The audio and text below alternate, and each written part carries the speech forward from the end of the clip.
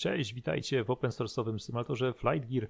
A w dzisiejszym odcinku chciałbym Wam powiedzieć o wydarzeniu, które miało miejsce w zeszły weekend, czyli 5, 6, 7 listopada 2021 roku, a był to hackathon, tak jak widzicie tutaj na ekranie stronę wiki poświęconą temu wydarzeniu.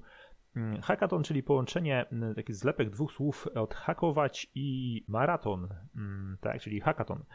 E, czyli taki maraton w hakowaniu, tutaj bardziej po prostu w programowaniu Flight Geara, tak żeby usiąść przez bite dwa dni i coś e, zaimplementować, może naprawić bugi, zrobić coś nowego, coś fajnego, ale także poznać ludzi, którzy współtworzą ten symulator oraz też od nich się nauczyć czegoś, nauczyć się jak właśnie programować we Flight Gear. E, tutaj co ciekawe, ten hackathon był już organizowany wcześniej. Ja nawet nie miałem o tym pojęcia, ale właśnie Widziałem na Discordach, jak i też chyba na forum właśnie informacje o tym, że zbliża się Hackathon 2021 i poczytałem sobie o tym dosyć troszkę i okazuje się, że też był organizowany wirtualny hackathon w 2020 roku, a to właśnie ze względu na covid odbyło się to wirtualnie, czyli przez internet. Bo jeszcze wcześniej, w 2019, taki hackathon był organizowany na żywo i to było organizowane w Amsterdamie, z tego co pamiętam. Po prostu na jakimś tam lotnisku w Amsterdamie, tak, spotykali się ludzie i. E, znaczy na lotnisku w jakimś budynku spotykali się ludzie i programowali e, wspólnie.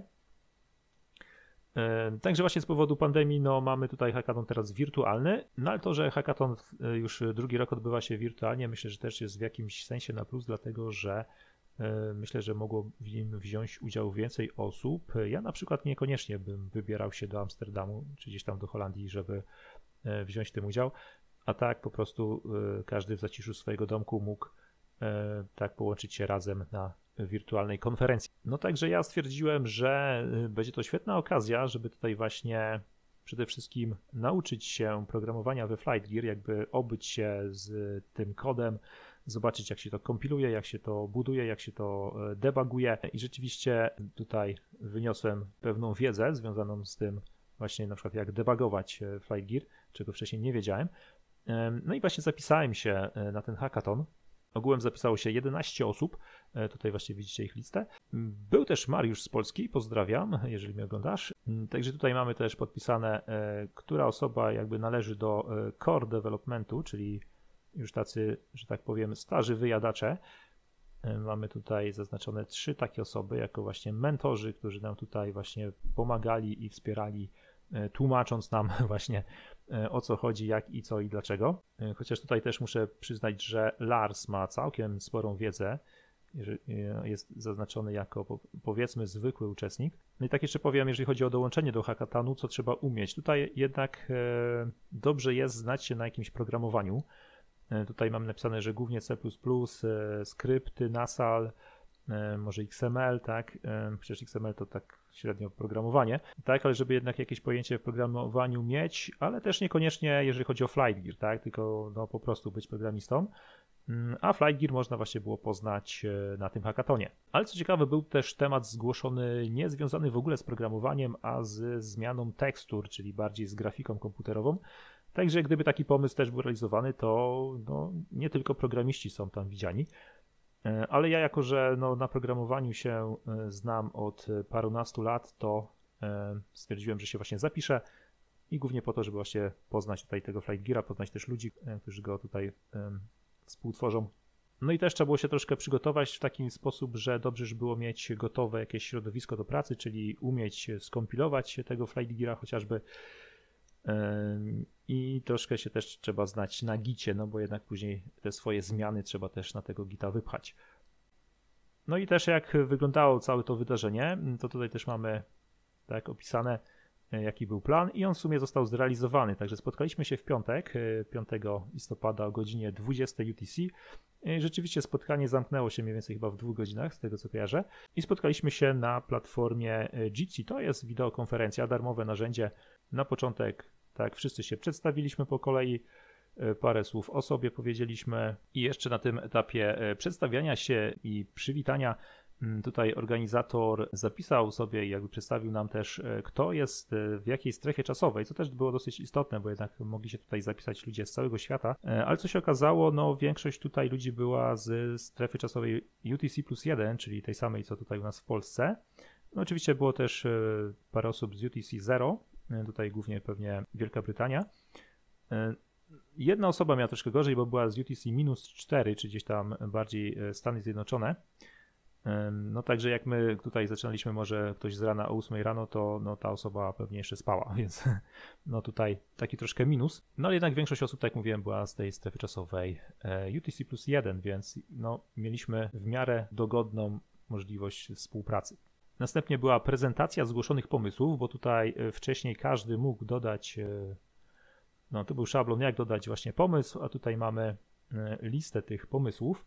Także była po kolei prezentacja każdego z tych pomysłów. Niektóre jakby były też od razu odrzucone, bo nie były jakby do zrobienia na teraz e, w tym hackatonie. No i jeżeli na spotkaniu był także tak zwany sponsor danego pomysłu, na przykład weźmy ten Multiplier Improvements, tak, to jest akurat e, sponsorem był Mariusz e, i tak, jeżeli był sponsor, to właśnie sponsor też dokładniej omawiał, co trzeba zrobić i dlaczego i tak dalej. E, także każdy z takich pomysłów był dokładnie prezentowany. Jeżeli były też pytania, to tak, niektóre tutaj e, pomysły pobudzały większą dyskusję. No i później po zapoznaniu się z tymi wszystkimi pomysłami, po prostu dzieliliśmy się na grupy, czyli głosowaliśmy, w którym tutaj pomyśle chcielibyśmy wziąć udział. Także ja wziąłem udział, w, zaznaczyłem, że chcę wziąć udział w Multiplier Improvements i chcę wziąć udział tutaj w tym pomyśle bezpiecznego wątku dla właściwości. No i po głosowaniu, y, no po prostu się pożegnaliśmy, tak? To było na tyle na piątek i tak y, spotkaliśmy się następnego dnia już w sobotę, w dzień, nawet samego rana niektórzy, tak żeby już zacząć tutaj y, pracę w podgrupach nad każdym z tutaj z tych pomysłów, a w zasadzie pomysłów, przeszły pomysły do realizacji cztery. I może właśnie Zobaczmy sobie, tak? Pierwszy pomysł to był właśnie ten multiplayer improvements, czyli polepszenie trybu multiplayer, gdzie po prostu jest pewien błąd, e, tu on jest opisany na forum fajnie, e, że właśnie w trybie multiplayer, tutaj zwłaszcza na Wacim, mm, jeżeli ktoś tutaj sobie lata w różnych sceneriach, ma poinstalowane różne scenerie, to tutaj jak widzimy samoloty niektóre wchodzą po prostu w teren, albo są za nisko, albo są za wysoko, no wtapiają się w teren.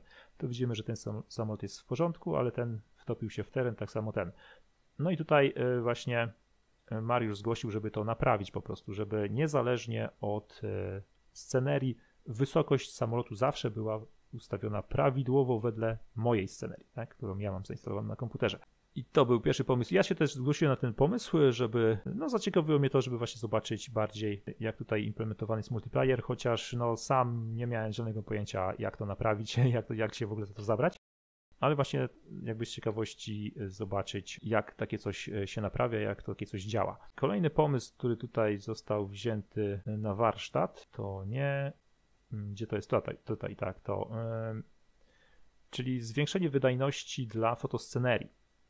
I to jest bardzo ważna rzecz, bo rzeczywiście jak mamy wczytaną fotoscenerię, ja też to uświadczam, po prostu mamy no, spore przycinki w animacji. E, podczas lotu tak doładowują nam się kolejne kafle z fotoscenerią, które przeważnie dosyć dużo ważą, jeżeli chodzi o wielkość, o pamięć RAM i to przycina, przycina po prostu animację. Mm, no i był pomysł, żeby uczynić to bardziej e, płynnym, tak, żeby to działało bez przycinania się i tutaj, żeby użyć właśnie poziomu szczegółowości w taki sposób, że jeżeli mamy teren daleki, to żeby wczytywały się tekstury o mniejszej rozdzielczości tej fotoscenerii, a te bliższe nas, bliższe samolotu, żeby wczytywały się już w tej y, wysokiej rozdzielczości.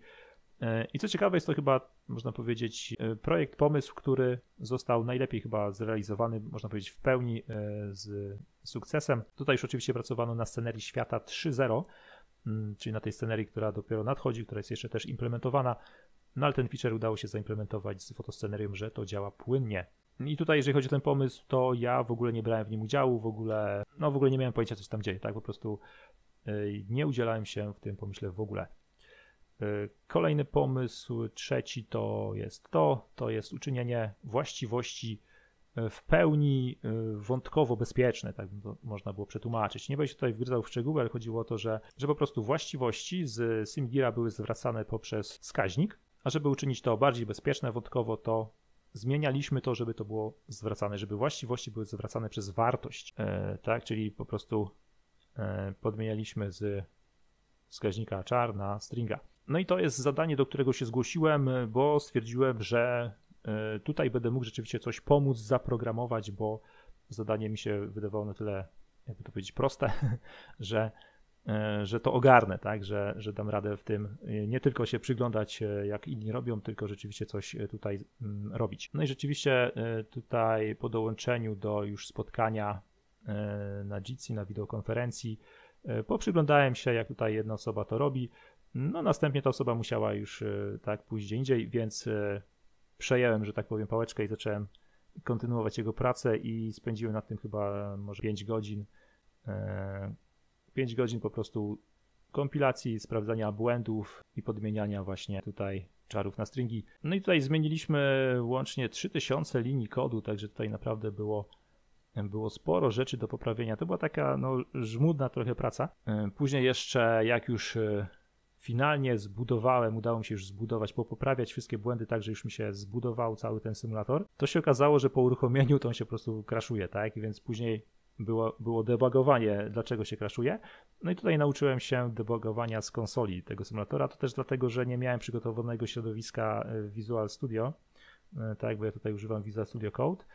No ale nie miałem na tyle zintegrowanego Visual Studio Code, żeby bezpośrednio w nim debugować, więc musiałem używać e, debugera z konsoli, ale tutaj e, tak osoba z Włoch mi pomogła w tym i też e, daliśmy radę, ponaprawialiśmy błędy.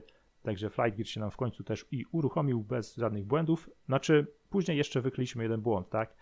Mm, wykryliśmy jeden błąd, że w menu nam się tutaj pewien tekst, labelka nam się źle wyświetlała, że zamiast właśnie labelki wyświetlała nam się ścieżka do pliku jakiegoś XML.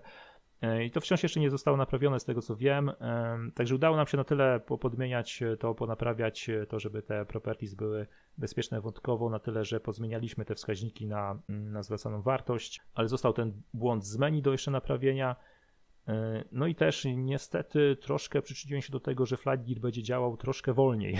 niestety można tak, można tak powiedzieć, bo E, bo jednak robiliśmy takie wstępne pierwsze testy po tym, to jednak e, ilość klatek troszkę spadła. Ale też pomysłodawca tego sponsor Julian no, ma tutaj też na uwadze to i, i pomysł jest taki, żeby też poprawić tą wydajność, żeby może powyciągać, to jest chyba gdzieś tutaj opisane, tak, żeby może powyciągać te wartości stringi z gdzieś z pętli, żeby to bardziej zoptymalizować, bo może niekoniecznie to trzeba za każdym razem wyciągać w pętli i tak dalej. Więc e, co do wydajności jeszcze się rozstrzygnie tak do końca, czy da się tam coś ponaprawiać i może to zostanie jeszcze usprawnione. Także ja głównie wziąłem udział w tym zadaniu i w sumie jestem z niego na tyle zadowolony, że rzeczywiście e, czuję, że e, coś zrobiłem, że te może nie 3000, ale może 2000 linii pozmieniałem i ponaprawiałem błędy i rzeczywiście no, był jakiś progres, tak? Poszliśmy z tym do przodu, mimo że zadanie no, do końca nie zostało jeszcze zrealizowane. I kolejny, czwarty pomysł wzięty na warsztat to był ten pomysł, tak żeby porobić y, testy wydajnościowe y, poprzez nagrywanie mm, lotu. Mm, tak, tutaj też pomysłodawcą był Julian i pomysł właśnie polegał na tym, żeby nagrać jakiś przelot na taśmę, tak zwaną, i czyli do pliku, E, i później odtwarzając cały czas ten sam przelot, e, ustawiać sobie różną konfigurację graficzną i w ten sposób notować e, wydajność samego Flight Geara i w ten sposób móc sobie porównać na przykład czy jakaś implementacja nowych feature'ów, implementacja nowych rzeczy, czy tak nie spowalnia zbyt mocno nam symulatora. I tutaj zostało to zrealizowane na tyle, że Julian przygotował skrypt w Pythonie właśnie do tego, żeby móc uruchomić sobie taką taśmę, a na końcu taki skrypt ma wypluć e, ilość FPS-ów, średnią ilość FPS-ów i tam inne statystyki e, związane z framerate'em, e, tak żeby móc właśnie dokonywać porównań. Ja może nawet odpalę Wam ten skrypt, bo też go sobie uruchamiałem.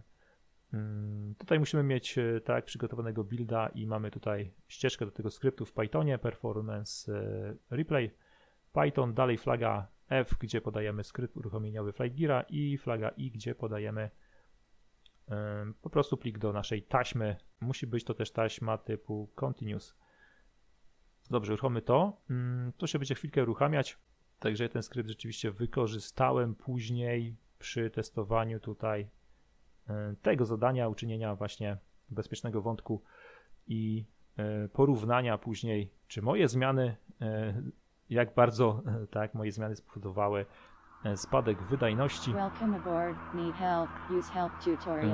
No i tak to wygląda. Uruchomiła mi się taśma, to ja tutaj teraz nic nie pilotuję, to sobie tak leci nagranie. No i teraz no musimy troszkę poczekać. To nagranie trwa chyba niecałe dwie minuty.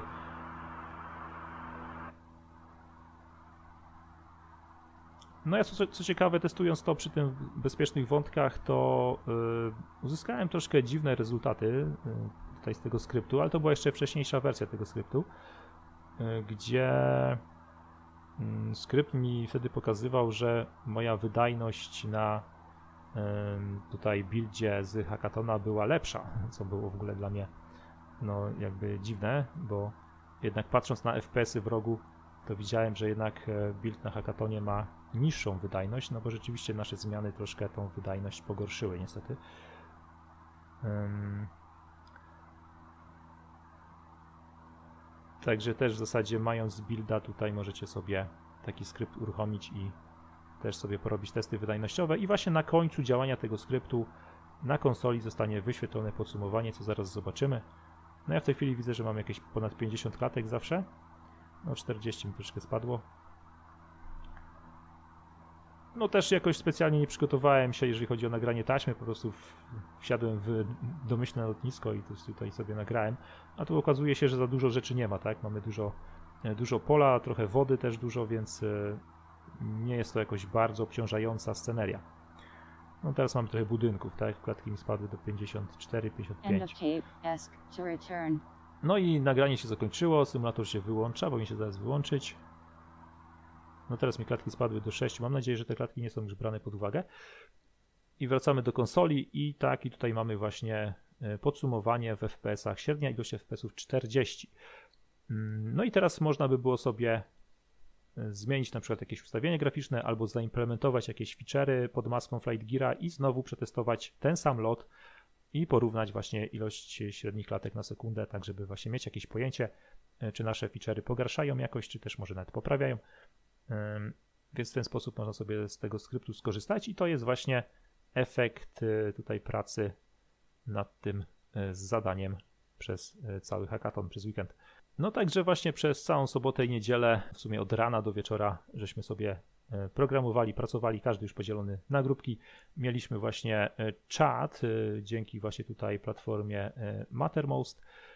Mieliśmy też, każda grupka miała też swój czat, jako, znaczy nie tyle czat, co wideokonferencję na Jitsi, gdzie przeważnie jedna osoba udostępniała ekran i programowała, reszta bardziej komentowała, czy też się przyglądała. No i później w niedzielę też o godzinie 20 czasu UTC spotkaliśmy się na ogólnej konferencji ze wszystkimi, e, gdzie sponsorzy swoich pomysłów e, prezentowali no, podsumowanie, tak, co zostało zrobione, co się udało zrobić, co się nie udało zrobić e, no i tu mamy też to podsumowanie na forum, możecie też sobie na tym forum zerknąć i poczytać, jeżeli chodzi o e, multiplayer improvements. E, no i tutaj dokonano dwóch poprawek dla modeli e, tak, sztucznej inteligencji. Tutaj też twórcy samolotów muszą się upewnić, że ich przesunięcie tam samolotu jest prawidłowo ustawione w tak, plikach samolotu. Tutaj jeszcze zrobiono poprawkę, że właśnie z poziomem e, szczegółów dla kokpitów, tutaj, że był wyświetlany kokpit w wysokiej szczegółowości, gdy sam model samolotu był w niskiej ustawiony. No i tutaj znaleziono rozwiązanie. No i drugie zadanie co do fotoscenerii, do tak, polepszenia wydajności zostało to zrealizowane dla scenerii świata 3.0, także tutaj e, pełny sukces. No i uczynienie właściwości w pełni bezpiecznymi wątkowo tutaj E, nie mamy pełnego sukcesu jeszcze, bo właśnie mamy baga związanego z menu i e, jeszcze trzeba przetestować i poprawić wydajność. E, I jeżeli chodzi o tutaj nagrywanie i robienie testów wydajnościowych, to został napisany właśnie ten skrypt, o którym Wam mówiłem, który pokazywałem. No i tu można powiedzieć, że jest ten sukces, że mamy ten skrypt wydajnościowy. No i po zaprezentowaniu podsumowań, no mieliśmy jeszcze taką luźną troszkę dyskusję. Mm, tutaj padł właśnie pomysł, żeby taki hackathon e, organizować częściej, nie tylko raz do roku, bo to jednak jest no, dosyć rzadko, żeby na przykład było to, było to co kwartał. E, padł też pomysł, żeby może nie robić hackathonów związanych tylko i wyłącznie z corem Flight Geara, ale także na przykład z twórcami samolotów, tak żeby był to hackathon pod samoloty zrobione, tak, także można by było się też nauczyć jak zrobić samolot, czy też naprawiać samoloty już obecnie zrobione, czy też je usprawniać, także ja też myślę, że byłoby fajnie, gdyby ten hackathon był właśnie na przykład co 3 miesiące. No i tu mamy też jeszcze podsumowanie techniczne, że właśnie platformy użyte do komunikacji jak e, Mattermost i Jitsi tutaj się sprawdziły bardzo dobrze. E, chociaż ja, jeżeli chodzi o Jitsi, no tutaj dostaliśmy maile, że mm, najlepiej to działa z Chromem albo z Chromium. E, no ja właśnie użyłem na początku Chromium i niestety dwóch osób nie słyszałem, więc dopiero jak przełączyłem się na Chrome, to wszystko było dobrze. Więc tutaj jednak, jeżeli chodzi o Jitsi, to z Chromem chyba to działa najlepiej. Tak, no i tyle. W sumie jakby rozstaliśmy się w niedzielę, e, jakby zakończając hackathon, ale też nie do końca zakończając, bo jednak e, no, niektóre prace wciąż trwają. Ja na przykład jeszcze tutaj w tym, w tym, w tym bezpiecznym wątku e, tam się jeszcze troszkę udzielam, no bo właśnie jest ten błąd do naprawienia i tam jeszcze utrzymujemy ze sobą kontakt i no będziemy myślę to dalej kontynuować. No także muszę wam powiedzieć, że było to całkiem fajne doświadczenie zwłaszcza pod kątem no, takiej lekcji, dowiedzenia się, nauczenia się, jak właśnie pracować e, z kodem FlightGeara. Także jak najbardziej myślę, że jeżeli będę też miał czas e, na przyszłe hackatony, to z chęcią się na jakieś e, zapiszę. Tak więc nagrywam ten odcinek także po to, żeby zachęcić Was do brania udziału w takim hackatonie, zwłaszcza jeżeli już znasz jakiś język programowania, głównie C++, a chciałbyś właśnie poznać, jak się programuje we FlightGear, to jak najbardziej zapraszam i E, zachęcam do wzięcia w tym udziału. E, zawsze też można się czegoś nauczyć, poznać ludzi i e, przyczynić się do tutaj rozwoju mm, open source'owego symulatora. Także to tyle będzie w tym odcinku. Dzięki za oglądanie. Cześć Wam.